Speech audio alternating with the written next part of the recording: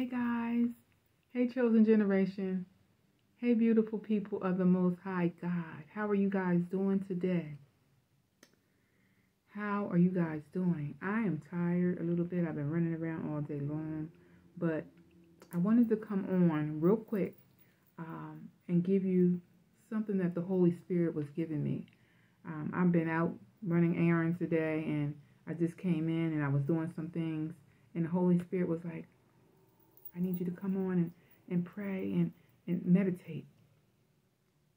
And as I began to pray and meditate, he began to speak to me. But I want to say welcome before I get started. Welcome, welcome, and welcome to all my new subscribers. I am so happy to have you here. My name is Nee, and on this channel, I give you whatever the Holy Spirit has given me, a prophetic word, a scripture, or just whatever word of encouragement the Holy Spirit has given me for that day. I, um, like I said, I was out today, off today from work, doing some things, taking care of errands, came in the house, and the Holy Spirit began to, you know, how you're doing things, and all of a sudden, it's almost like he's saying, come here, come here, come here. I want you to say this. I want you to, I got something, I want to talk to you about something. So I go and I bow down and I begin to meditate and then I begin to pray. And he said, um, tell my people, go on and tell my people, go online, you want me to come on and tell you. He said to wait. He said, tell them to wait, not to move, not to move. That's the first thing he said, not to move. And I said, not to move. He said, tell them to wait.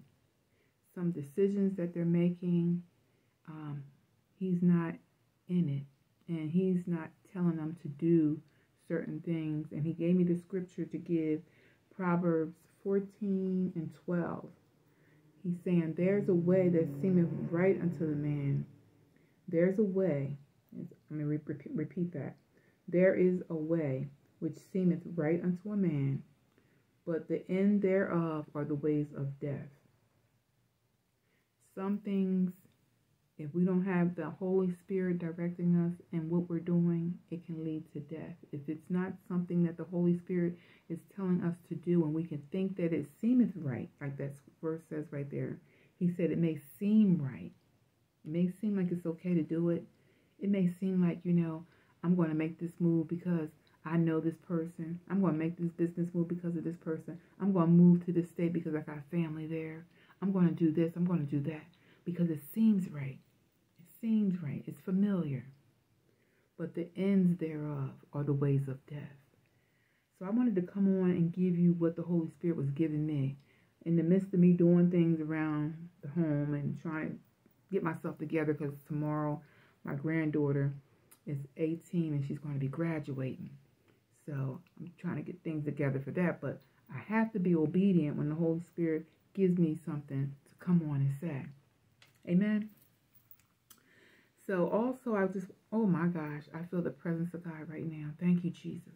God is going to direct you. Whoever this is for, you know who, you know, whatever decision you have made, whatever decision you're making, Make sure that it's in line. Make sure that it's in line with God and what He wants you to do. That the Holy Spirit is directing you. That it's not just your flesh, yourself. There's something that you're just doing. But make sure that He gives you the green light. Not the red light, but the green light to go ahead and do whatever it is that you're trying to do. Whether it's business, uh, deal, whether it's uh, moving to another state, maybe, maybe it's a job opportunity, whatever this decision that you're about to make or have already in the process of making. He said that he's going to give you, this is what he said before I came on, to let you know he's going to give you, the whole God's saying he's going to give you the desires of your heart, those desires that you have put before him, placed before him, and you're position, positioning yourself to, you've been waiting on these things, but he said continue to wait He said continue to wait and stay in position. I hear him saying, stay in position and continue to wait. Those things that he showed you that he's going to do and that he is doing little by little, See, our timing is not God's timing. We can't rush God. I remember many times myself saying, okay, let me help him out. Let me help God out. We can't help God out. We have to step back and allow him to move when he's ready to move. We, we can't rush him. Okay? So, again, Proverbs, when you get a chance, read that. A lot of you probably already know that verse, Proverbs 14 and 12. There is a way which seemeth right unto a man, but the ends thereof are the ways of death. And it's very dangerous if we do things that are not pleasing and not not what God has told us to do. In other words, not pleasing to in His what He not, not pleasing to what He's asked us to do, or or we're just rushing, rushing into doing this, rushing into doing that, rushing into doing this, and not listening, not taking the time to really listen to what the Holy Spirit is saying. And that's what he's saying. I'm not going to be before you long, but I just wanted to come on real quick and say what the Holy Spirit was giving me.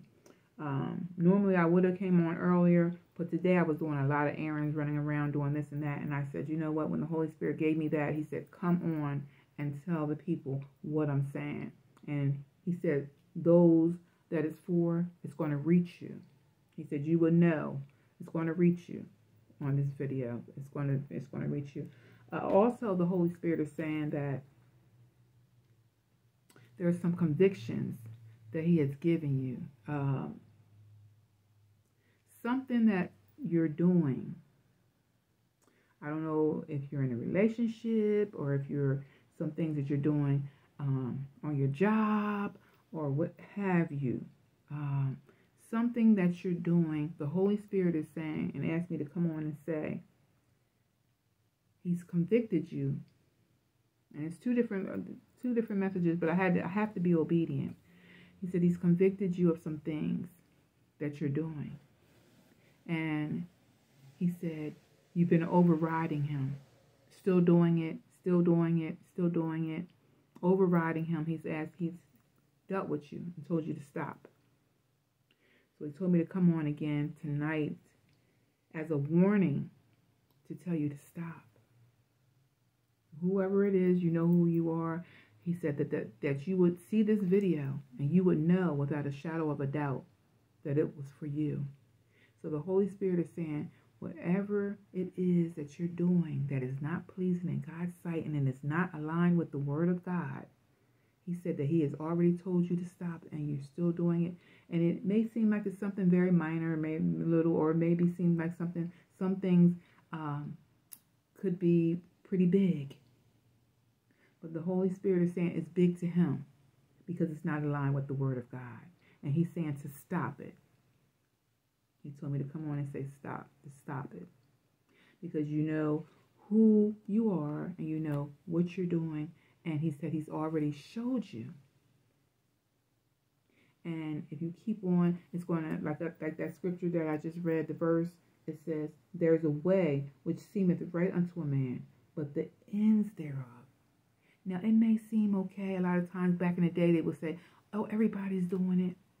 Everybody's going to the club and still going to church on Sundays. Everybody's doing this. Everybody's drinking. Nowadays, everybody's drinking. You know, wherever you, you know, everybody's doing it. Everybody's smoking weed. Everybody's, you know. There is a way that seems right unto the man, but the ends thereof are the ways of death. It seems right.